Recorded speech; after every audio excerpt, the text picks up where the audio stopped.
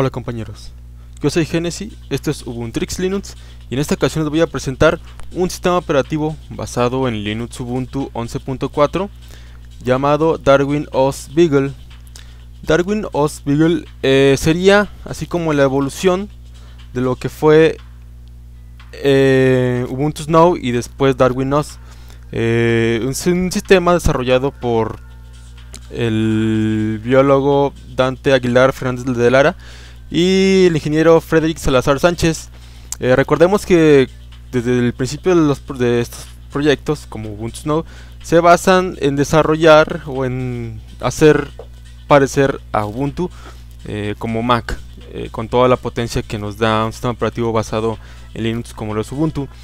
Y bueno, no utilicé mucho tiempo Darwin OS el anterior, este es el Beagle, porque me tuvo algunos errores. Sin embargo, Ubuntu Snow sí lo utilicé mucho tiempo.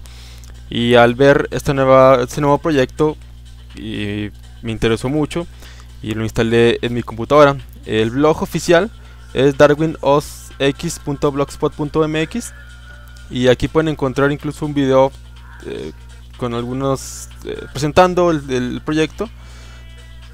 Eh, y también se encuentra alguna información básica del proyecto. Dice que está sin distribución Linux basada en Ubuntu 11.4 y bueno aquí por aquí vienen también las aplicaciones que tiene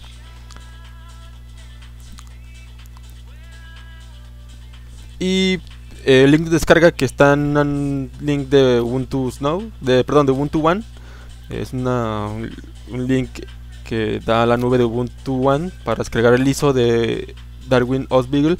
Pesa cerca de 2 GB para que lo tengan en cuenta.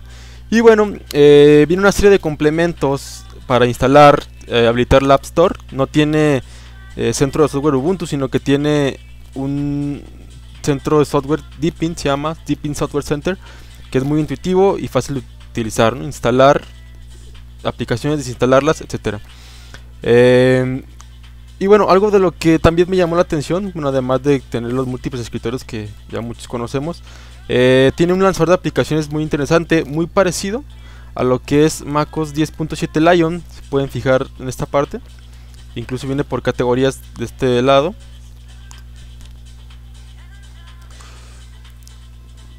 Y bueno, pues los que les interese pueden descargarlo y utilizarlo. Este el proyecto eh, pide colaboración de alguna manera desarrollando software o, eh, participando en el proyecto. Yo lo hago de esta manera, aportando, dando a conocer el proyecto, como lo es Darwin Osbeagle. Entonces, bueno, pues esta es mi, mi colaboración. Pueden ver, tiene el Doki con unos iconos muy llamativos, el Global Menu Bar. Eh, y bueno, lo, no lo he instalado mucho, ni siquiera he instalado actualizaciones para mostrárselos de la manera más pura posible. Que se encuentra recién instalado, lo instalé hace dos días. El único que instalé fue Google Chrome, un capturador de pantalla. Y por ahí hay un error con el centro software después de instalación, pero pues ya, ya quedó.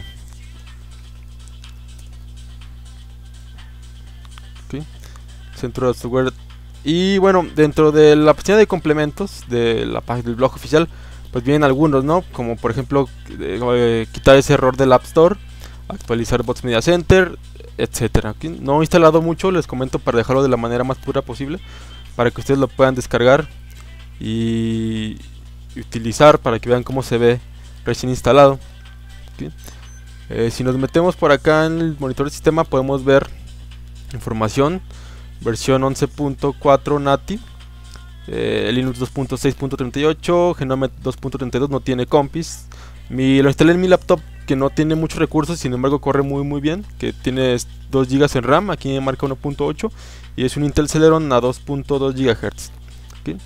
Yo lo instalé desde un USB con USB, eh, con Universal USB Installer, pero también lo probé con Yumi, videos que ya les había mostrado en mi blog, y con Multisystem. Y bueno, em, esta es mi parte de aporte al, proyecto.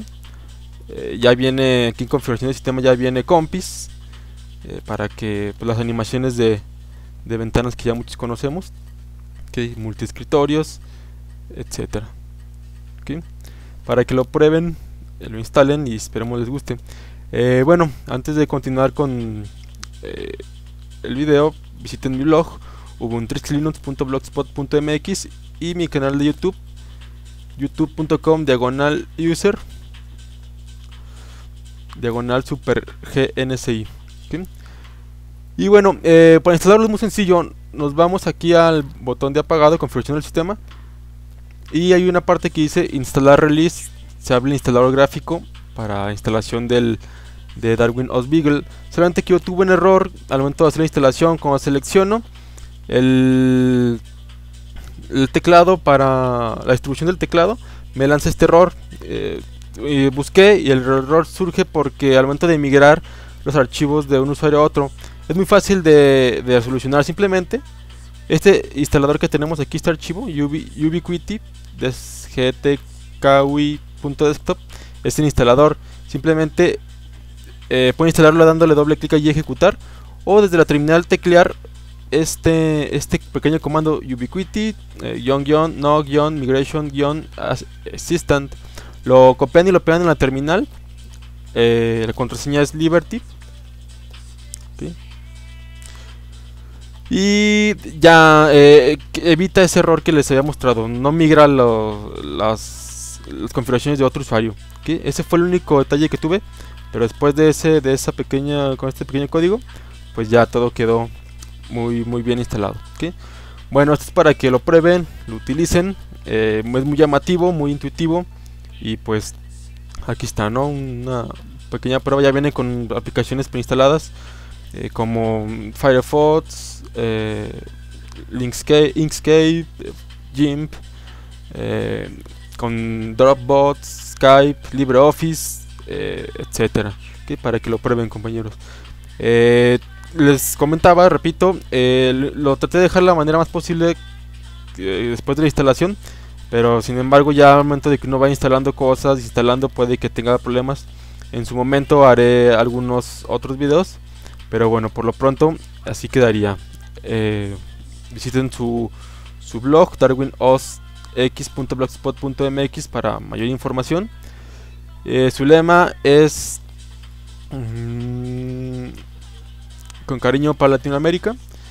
Y bueno, eso es todo por esta ocasión, compañeros. Visiten mi blog ubuntulinux.blogspot.mx y mi canal de YouTube youtube.com diagonal user diagonal super gnsi. Yo soy Genesis, esto es Ubuntu Linux y adiós.